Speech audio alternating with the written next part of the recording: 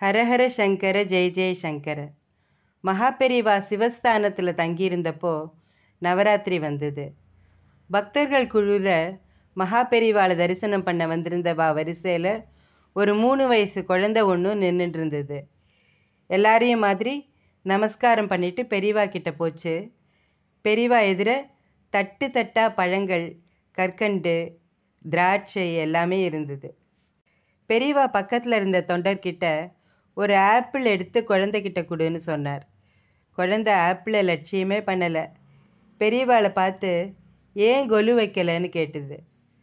குழந்தை சொன்னது தெய்வம் சொன்ன மாதிரி. உடனே பெரியவா அங்கே இருந்த பக்தர்கள் கிட்ட ஆளுக்கு ஒரு பொம்மை வாங்கிட்டு வாங்கோன்னு சொன்னார்.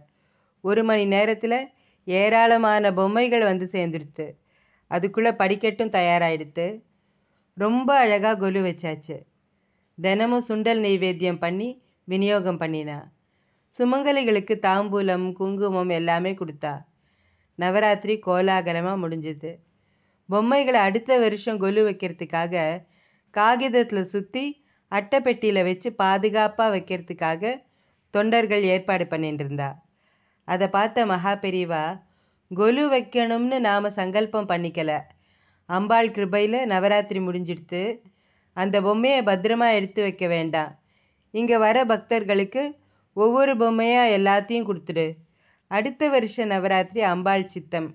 அவ என்ன நினைக்கிறாளோ அதுபடி நடக்கட்டும்னு சொல்லிட்டார். பெரியவாளோட மனசு தாமரை இலை தண்ணீர் முத்துக்களாக ஜொலிக்கும். ஆனால் எதுலேயும் ஒட்டிக்காது. ஏன்னா கடவுள் இந்த உலகத்தை அழகாக வழி நடத்துகிறார் எல்லாத்தையும் அவர் பார்த்து பாருங்கிறது தான் அவரோட சித்தாந்தம். இதை மற்றவர்களுக்கும் போதிச்சார். மகா பெரியவா போதனைகள். எந்த கவலையும் இல்லாமல் நிம்மதியாக இருங்கோ. எதுவும் உங்கள் கையில் இல்லை. எது உங்களோட கட்டுப்பாட்டில் இருக்குன்னு ஒரு நிமிஷம் யோசிச்சு பாருங்கோ. முதல்ல உங்கள் உடம்பே உங்கள் கட்டுப்பாட்டில் இல்லையே. உங்களோட உடம்பே உங்கள் பேச்சை கேட்காதப்போ உலகத்தில் வேற யார் உங்கள் பேச்சை கேட்பா? உடம்ப விடுங்கோ. உங்களோட தலைமுடி கூட உங்களோட கட்டுப்பாட்டில் இல்லை. முடி நரைக்கிறதும் உதிர்றதும் வழுக்க விழறதும் யாருக்கு தான் பிடிக்கும்? ஆனால் பிடிக்காதுங்கிறதால முடி நரைக்கிறதையோ உதிர்றதையோ உங்களால் தடுக்க முடியலையே. உங்கள் உடம்புக்குள்ளே என்ன நடக்கிறதுன்னு உங்களுக்கு தெரியுமா? நீங்கள் சாப்பிட்ட உணவை நீங்களா ஜீரணம் பண்ணுறேன் அதுவாகவே ஜீரணமாகுது இதயத்தையும் குடல்களையும் கணையத்தையும் சிறுநீரகத்தையும் நீங்களா இயக்கிறீங்க? இல்லையே.